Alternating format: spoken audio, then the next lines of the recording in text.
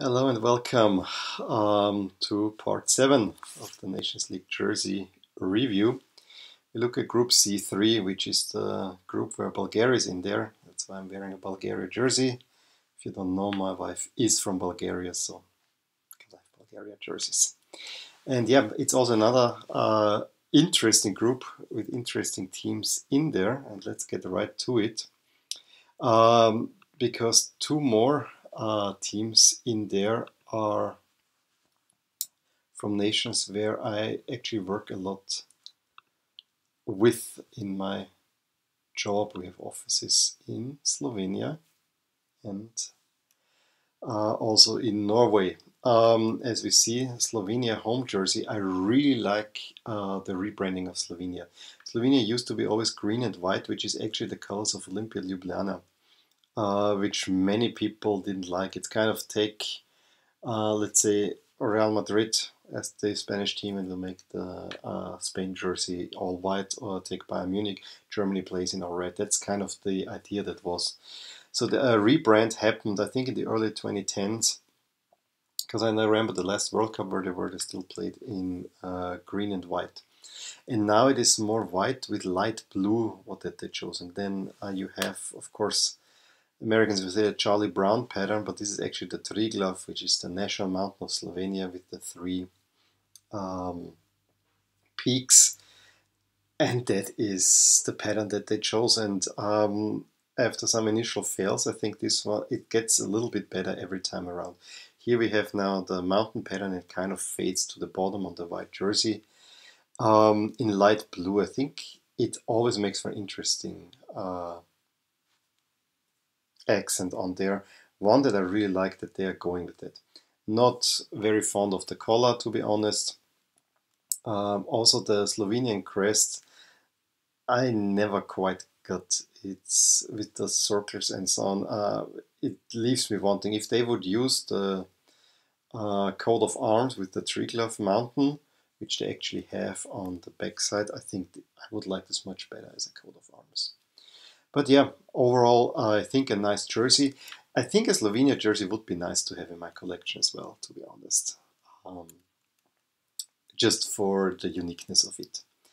Uh, I like the away jersey actually better. It uses the same color uh, for uh, the Triglav pattern, but of course on the darker blue it looks that much better. Uh, really love that one. Also the sleeves you can see now the little bit the pattern more. And it has this light green uh, taping again with the Slovenian uh, coat of arms on the back. That one is an absolute keeper. If I would have to choose between those two I think that's the one that I would choose to have. Although the home jersey is also not that bad. But I think the away jersey looks just a little bit better. And then of course the other team where I have regular work relations with Norway uh, and no home jersey again by Nike. Nike is taking over like Adidas. Many Nike has many many teams in Europe now, and I have to give it to them. While I don't like the color, the Norway shirt color-wise looks awesome. The home shirt, um, the red base with the dark blue sleeves and then the white collar. You get all the national colors in there.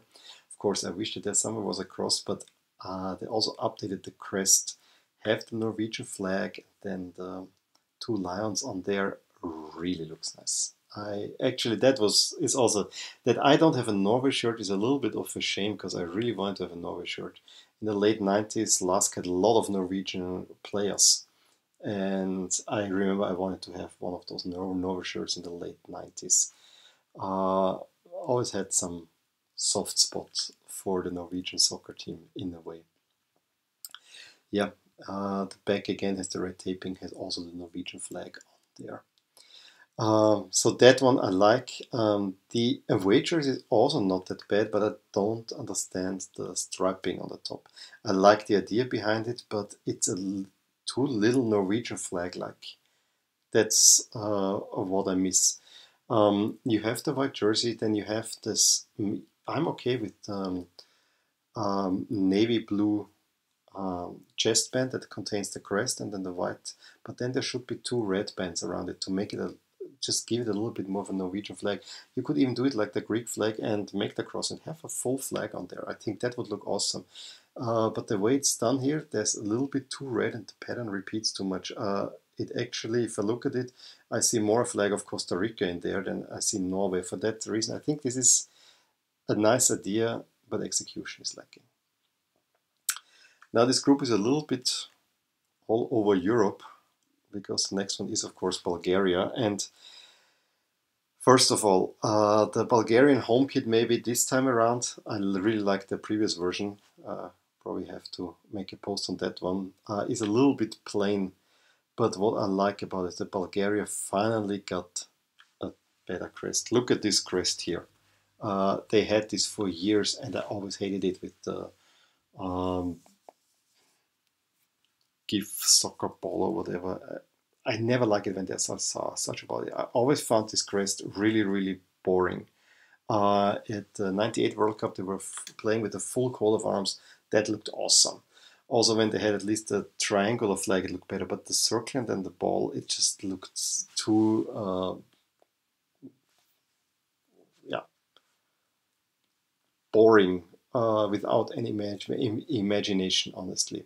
Uh, now they use the lion on the center of the coat of arms, and I absolutely love it. Yes, there are no Bulgarian colors on there, um, and the shirt over is really, really, really plain. I like the color. It's not quite the old style, but it reminds me of a tie-down collar. It really looks classy, honestly. And the nice thing is this is paired with, of course, green pants and red socks, so you have the flag there.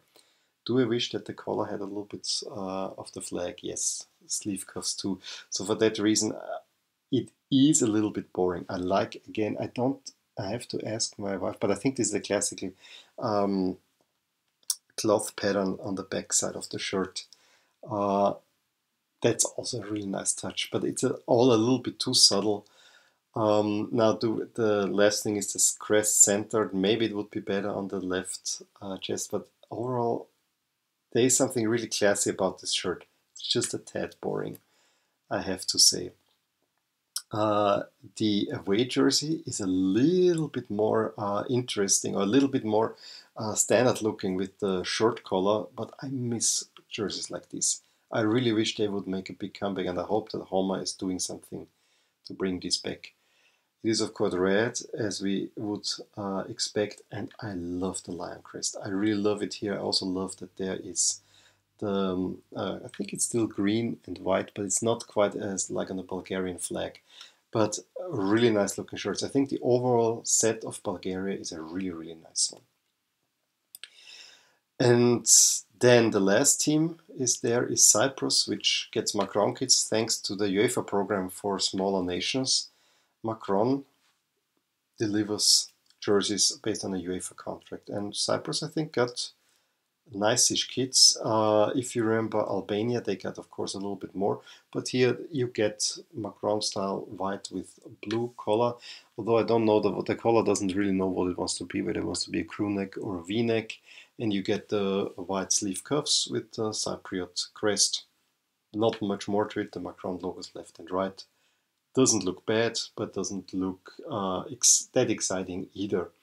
Uh, reminds me a little bit about uh, the Finland jersey that we saw uh, yesterday.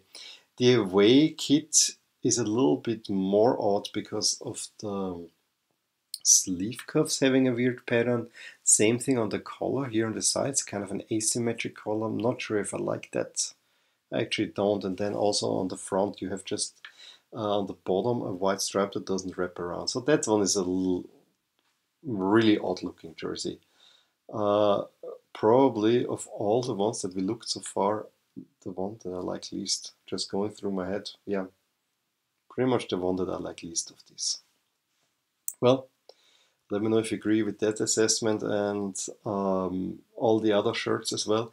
Again, League C so far, we haven't seen really bad shirts in there, and that is surprising because we are really. Uh, it's kind of this mid mid low Euro European teams, and they all get quite interesting jerseys. I would even argue some of those are better than the top teams have, and that is a great thing to say.